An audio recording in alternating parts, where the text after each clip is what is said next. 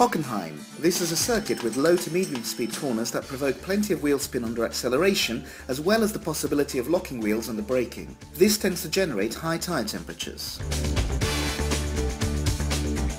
Turns 2 to 3. From 310 to 90 kph in less than 100 meters with a 5G deceleration. The front tyres have to absorb a huge amount of this force. The inside tyre runs over the curbing and struggles to find grip. So the entire job is down to the external tyre, which has to steer and also hold the ideal racing line. Once more the cars accelerate up to 325 kph in 7th gear as the cars move to the inside line of the track.